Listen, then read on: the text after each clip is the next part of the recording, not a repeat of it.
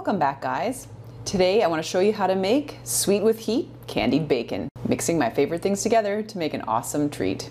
Stay tuned. So I had a good year for uh, tapping the maples this year. I started at the end of February and finished up at the beginning of April. And uh, now we are having a bit of a second winter. It's uh, pretty blustery outside with a warm up slated for this weekend. So I wanted to make something with the maple syrup that I got this year. So what better than doing something with it uh, and something else that I'm in love with, which is bacon. So I wanted to show you today how to make maple candied bacon. And you can use this uh, special treat you know, for anything. So, you know, you could crumble it on ice cream, you could have it for breakfast, you could have it as an hors d'oeuvre, and certainly you can put it on salads or as a little decoration uh, in one of your drinks. So maple candied bacon is really, really flavorful and it's so easy to make, really fast. You only need a few ingredients, and I want to make mine a little bit spicy as well as sweet with the maple syrup. Before we head in the kitchen, I want to just give you a brief uh, introduction to different grades of maple syrup. So some of you may have noticed in the stores, or if you've gone to a maple farm, there are different colors of maple syrup that you could buy. My favorite grade of maple syrup is the golden maple syrup. It used to be called extra light. The grading system changed here in Canada in 2017.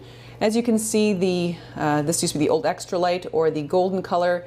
It's a very pale straw color. It's something that we would get early on in the season. So this is uh, something that I got basically the very beginning of March. March the 2nd was this batch. So really, really nice color, very light flavor. Other grades of maple syrup after the golden are amber, dark, and very dark. So I want to show you an example of amber, uh, and this is one that I had pulled off at the end of the season last year. As you can see, here is the amber color of the maple syrup, and it was produced sort of at the end of last season by the exact same process that I did to produce the extra light. Why is there the difference in color? Well, certainly as the season goes on, um, more bacteria are present in the tree, and the enzymes from the bacteria actually convert uh, the sucrose in, which is a sugar in the maple syrup, to other types of sugars, other invert sugars. And those sugars, along with the process of caramelization and the Maillard process, um, produce this kind of color of maple syrup once you're done the boiling. And it has a very robust flavor. It's excellent for pancakes and baking. Um, this is one of the, you know, the grade A amber that you would sort of see in the grocery store. And here they are head to head in the same frame. You can see the, the golden color uh, in my right hand here and in my left hand I've got the, the amber color. So they're both very good uh, you know, types of maple syrup. Each has their own purpose and sometimes it's just a preference as to what you like. It's not too common to find the extra light in uh, grocery stores and you may actually have to buy it from a maple syrup producer. Again, this one's produced earlier in the season and this is later in the season and there's a few chemical processes that occur later on in the season that produce this beautiful dark amber color but the flavor is fantastic in both kinds of maple syrup. Sometimes you get the dark or the very dark kinds of maple syrup, but they're very late on in the season, and those ones are excellent for baking. Sometimes you can get maple syrup in the very dark category that's about the same color as molasses. And on that note, let's head to the kitchen and make our sweet with heat maple candied bacon. So we'll start with a package of bacon. This recipe is going to make up to one pound of maple candied bacon. Moving over here, we've got the rest of the ingredients. So we have about half a cup of maple syrup. You can use, you know, the dark or very dark or amber if you'd like. I frankly have a lot of the extra light to use up, so I'm going to use that. Here we have a teaspoon of extra hot Dijon mustard. You can use any mustard you'd like, even the granular type of the Dijon. I'm also going to use uh, this Chipotle spicy hot sauce, so to add a little extra kick and smoky flavor to the bacon. So we'll start by putting in the maple syrup here in a small bowl. And then we'll add in the teaspoon of the Dijon.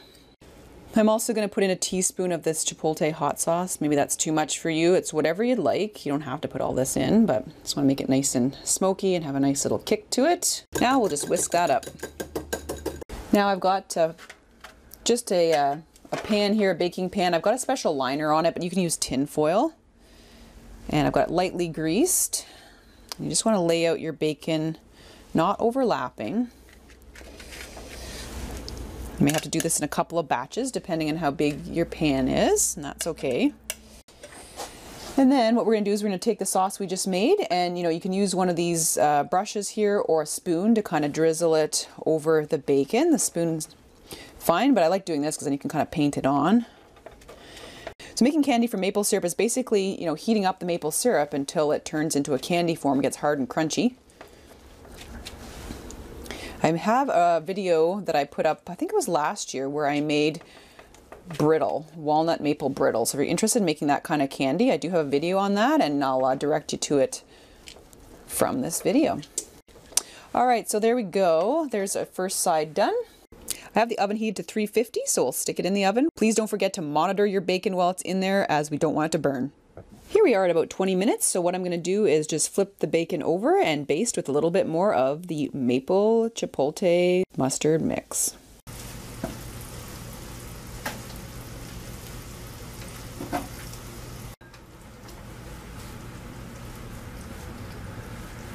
So I flipped them over and basted them again with a bit more of the mixture and we'll put them back in the oven and I'll check them again every 10 minutes until they're at the desired crispness.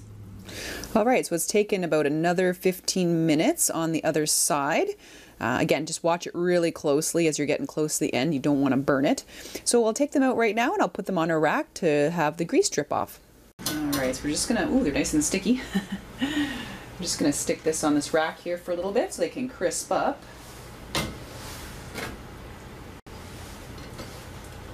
Oh, the smell, it's amazing.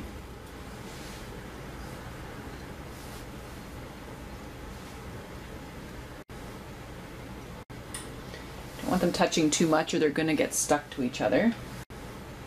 What I also want to do is to put a little bit of uh, black peppercorn on the surface of these while they're still sticky. That should do it. Well, there's my first batch all done. I'm just storing it upright in a glass and I'll keep it in the fridge for future use. Well, let's give it a try. I've used one of the maple candy bacon uh, pieces here to decorate my drink. Uh, it looks really good. Let's give it a try.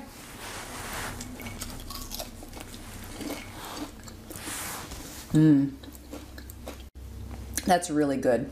You know, it's not too spicy at all. Very subtle smoky taste and that extra sweet golden maple syrup. Ah, I love it.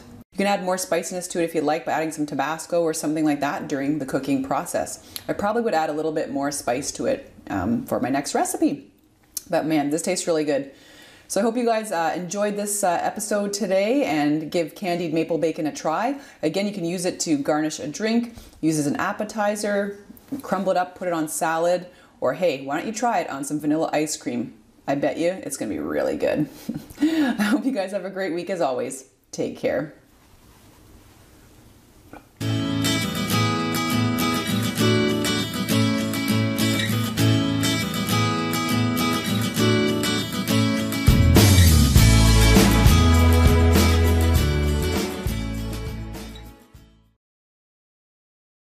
Take a look at the bacon.